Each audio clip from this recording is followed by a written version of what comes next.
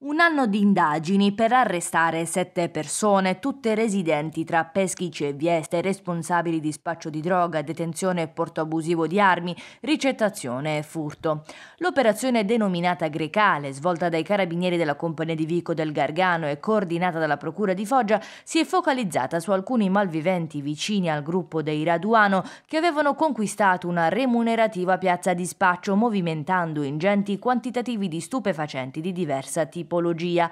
Oltre ai fratelli Cristian e Domenico Pio di Milo c'è il 35enne Giovanni Surano che a maggio scorso viene arrestato dai carabinieri con più di 20 kg di droga e una Santa Barbara composta da Kalashnikov, un fucile a pompa, 5 pistole, oltre a 280 cartucce, un ordigno artigianale e un drone utilizzato per il controllo dell'area circostante alla propria abitazione nel centro storico di Vieste. Dimostrazione questa della spregiudicatezza e dello spessore criminale del gruppo arrestato.